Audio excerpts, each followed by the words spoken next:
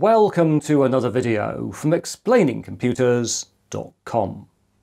This time it's my ranking of the top new single board computers 2023. And just to be wild, I've got six boards in my list this year rather than five. As usual, I'm going to be looking at SBCs which have launched and which I've reviewed on this channel in the past 12 months and that means from the 1st of November 2022 to the 31st of October 2023.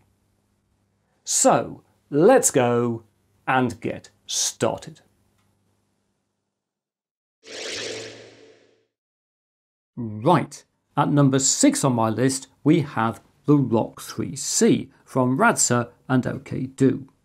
Although if you're looking for a lower cost ARM maker board, it may well be your number one, as it currently sells for $35 or $42.59, depending on whether you want 1 or 2 gigabytes of RAM. The board went on sale in May 2023 and has an RK3566 SoC with four 1.6 GHz A55 cores and a Mali G52 2EE GPU. And this makes the Rock 3C more powerful than the Raspberry Pi 3 but less powerful than the Raspberry Pi 4. When it comes to connectivity, we have got onboard Wi-Fi and Bluetooth. We have got a USB-C port for powering the board, same as we've got on almost all the boards on this list. We have got full-size HDMI, hurrah, and a 3.5mm audio jack, also hurrah. Around the corner, in the usual places, we then have gigabit Ethernet, one USB 3 port and three USB 2 ports. Back on the top of the board, we've then got MIPI, CSI and DSI connectors for connecting a camera and an LCD panel, and we also have a 40-pin color-coded GPIO connector. And then finally, of significant note on the top of the board, we have got an M.2 slot. And this is M-keyed and can support up to a 1TB NVMe SSD. The interface is PCIe 2.0 one lane, just like it is on the new Raspberry Pi 5. And on this board, we aren't finished with the storage connectivity with this slot, because if we turn it over, on the bottom of the Rock 3C, we find not just a microSD card slot, but also a socket for an eMMC flash module, which is currently populated and has got an operating system on it and so at its price point, the Rock 3C is very well specified when it comes to storage interfaces. In terms of software, there is official support for Debian 11, which even provides decent 1080p streaming media playback in the Chromium browser. And Ubuntu Server 2204 is also available for the Rock 3C. This said, operating system support really hasn't changed since launch, which is rather disappointing, and this very much determined the position of this excellent piece of lower cost hardware at number 6 on this list.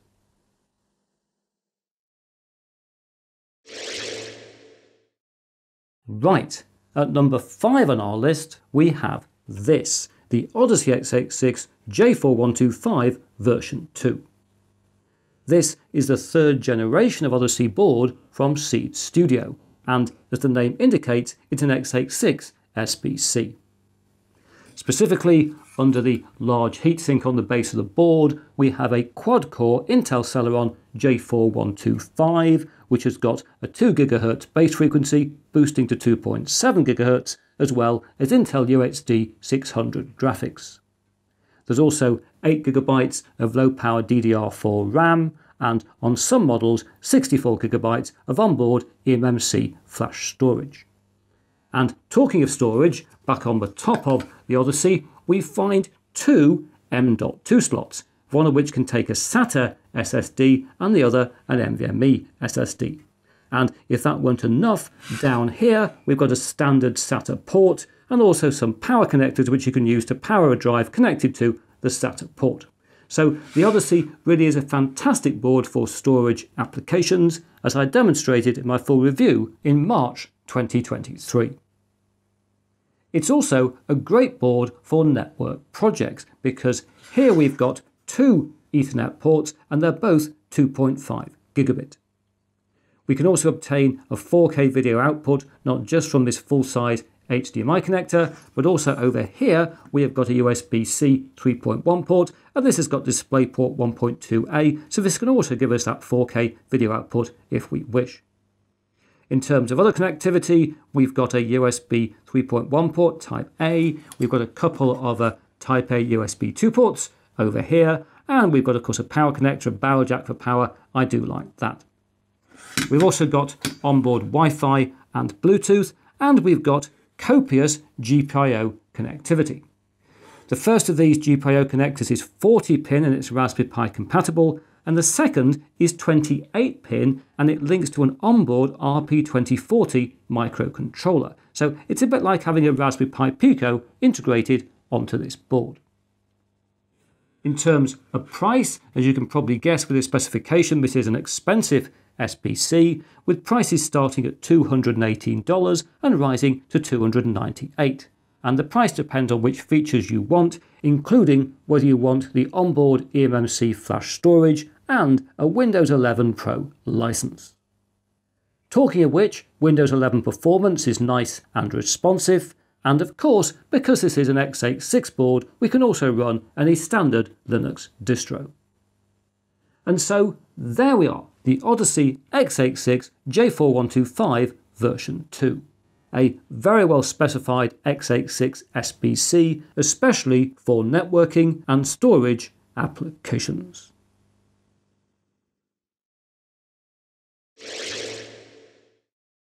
Right, at joint third, so we have no number 4 on this list, we have these. The VisionFive 2 from StarFive and the Lichee Pi 4A from Sipeed. And these boards have got a RISC-V processor, and so unlike the other boards on this list, they are not general purpose SBCs that I would recommend most people to purchase. Rather, these are very much hardware for those who wish to develop for or experiment with RISC-V computing. And so I did agonise about including these on this list. However, in 2023, without doubt, these are the two SBCs I've personally found to be most interesting and with which I've had the most fun.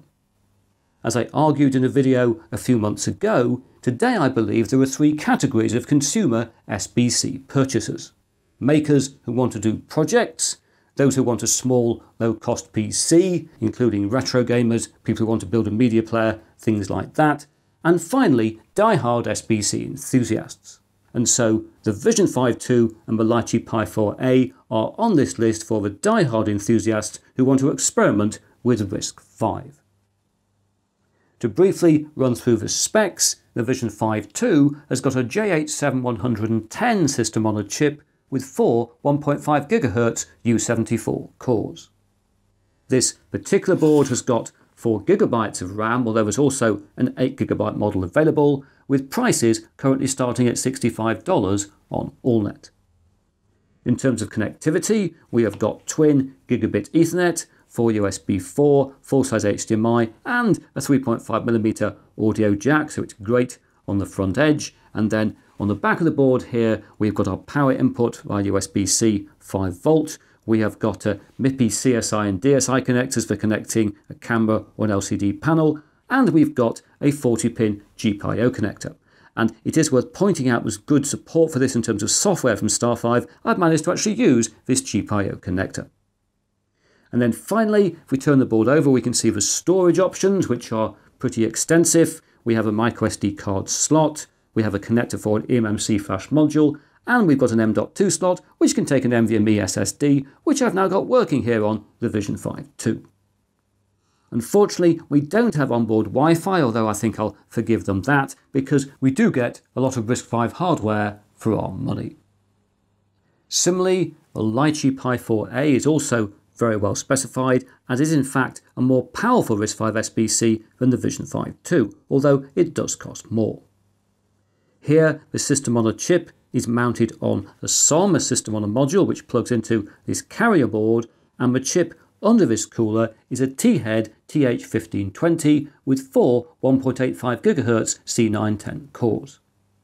The Lichee Pi 4A comes with 8 or 16 GB of RAM coupled with 32 or 128 GB of onboard eMMC flash storage and is currently listed for $135 for the 832 version on AliExpress. Once again, we have got a USB-C power input on the board. We've got here the Wi-Fi chips. We have got onboard Wi-Fi and Bluetooth on this board. We've got GPIO. We've got 3.5 millimeter audio and a full-size HDMI output, which is always good. And then over here, we've got twin gigabit Ethernet, four USB 4, and also a barrel jack that can also be used to power the board. So we have different power options. I do like that. And we turn the board over. There we are. Let's have it the right way round. We do have our MIPI, CSI, and DSI connectors again, so we can connect a camera and LCD display if we wish. But we don't, other than the microSD card slot here, have any other storage options on the board. Remember, we've got onboard eMMC, so there's no socket needed for that. Uh, we don't have here an M.2 slot, so we can't use uh, an NVMe SSD. In terms of software for both of these boards, it is highly developmental, which is what we should expect given that the RISC-V ISA is still very new for end-user computing. This said, across 2023, both StarFive and Sipeed have given us many updates to the software for their respective boards, and uh, as a result, we now have good Debian images for both of them, with the VisionFive 2 rocking a GNOME desktop interface, whilst the Lichee Pi 4A opts for a very responsive XFCE. As I've noted already, I've decided to rank both of these boards equally at number 3 on my list because they're both boards from pioneers with the same goal of advancing the RISC-V ISA. It doesn't seem fair to separate them out. They're bought at different price points with different amounts of power, but they're still very much, you know, they're in the same place. They're, they're both boards, which, as I've said, are not things to buy if you want a general SBC, but they're both fantastic starting points if you want to experiment on the RISC-V frontier.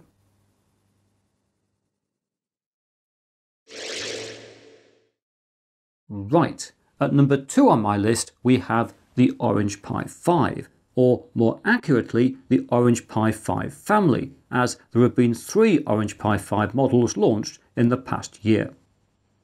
Specifically here we have the original Orange Pi 5, which shipped in December 2022. And then 30 days later came the Orange Pi 5B, and in June 2023, the Orange Pi 5 Plus. And if you're wondering about the differences, the 5 and the 5B are pretty much identical, except that the 5 has an M.2 slot but no onboard wireless, whilst the 5B has onboard wireless but no M.2 slot. Meanwhile, whilst the 5 and 5B are based on the slightly cut down RK3588S system on a chip, the 5 Plus uses a full RK3588. It also has an extra HDMI output, an HDMI input, faster Ethernet ports, and separate M.2 ports for a wireless module and an NVMe SSD. All three Orange Pi 5s are now available with up to 32GB of RAM, with prices currently starting at $85 for an 8GB Orange Pi 5.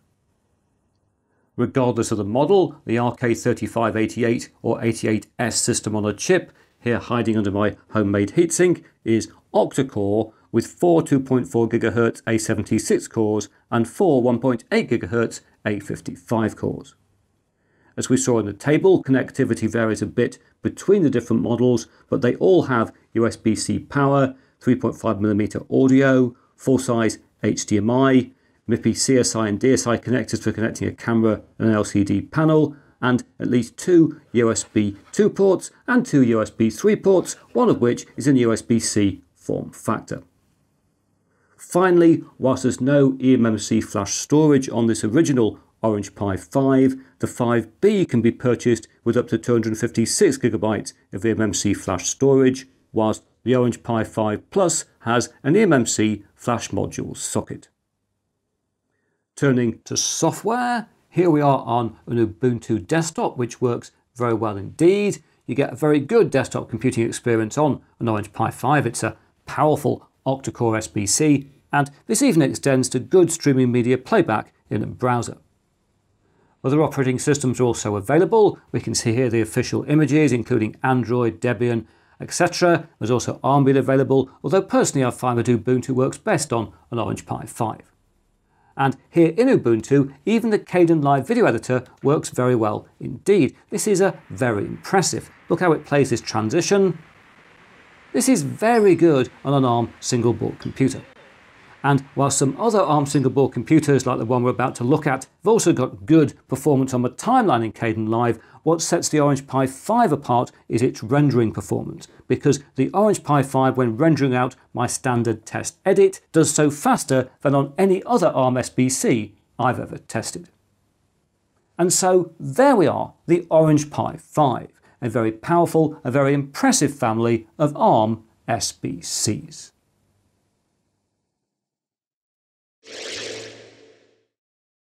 Guess what? At number one on my list, we have a banana. Well, okay, we don't have a banana. Far less surprisingly, we have the Raspberry Pi 5, which started to ship in the last week of October 2023. This new board comes with 4 or 8 gigabytes of RAM, with prices being $60 and $80 respectively.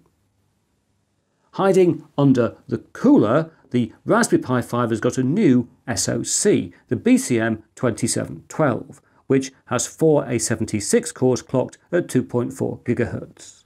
So, this is exactly the same A76 core specification we just saw on the Orange Pi 5, except that the Orange Pi 5 has four additional A55 cores on top of that. So, the Raspberry Pi 5 is not the most powerful ARM SBC on this list in terms of raw CPU power. However, it does offer excellent performance, in part due to the combination of the BCM2712 with a new chip called the RP1, which is also hiding under this cooler. And the RP1 handles I.O. and provides a lot more peripheral bandwidth, which in practical terms means we have much faster USB 3 ports, a much faster microSD card slot, faster MIPI ports down here for connecting a camera or an LCD panel, and we also have a PCIe connector, a ribbon cable connector, to which we'll be able to connect, for example, an M.2 hat or lots of other exciting things. In terms of other connectivity, we still have USB-C power, twin micro HDMI, but we don't have a 3.5mm jack. However, stereo audio is available on the standard GPIO header and there are some pads down here where you can solder on a connector for composite video output if you don't mind taking your soldering iron to a Raspberry Pi to do things like, for example, retro gaming. Finally, the Raspberry Pi 5 does not have eMMC flash storage or a connector for eMMC flash storage. But what we do have is a new ARM SBC that has impressive and very well balanced performance, already coupled with excellent software support. Indeed, if we go across to the Raspberry Pi OS desktop, we find a level of interface fluidity that beats anything I've ever tested on an ARM SBC, and which includes good 1080p streaming media playback in a browser. And therefore, as so often in the past, it's a very well executed combination of hardware and software that places the new Raspberry Pi in our number one position.